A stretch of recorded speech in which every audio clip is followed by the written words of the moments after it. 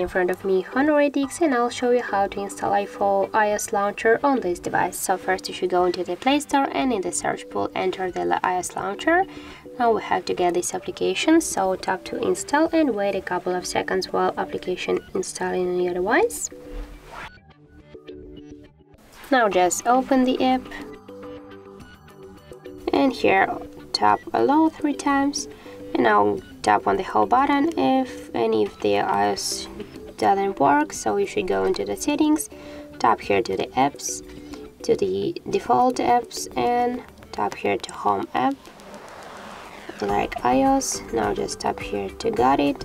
And as can you see our applications they are just really really uh, uh, close to the iPhone 1 look like the settings the door the gallery. So that's how it looks and if you find this video helpful don't forget to leave a like comment and to subscribe our channel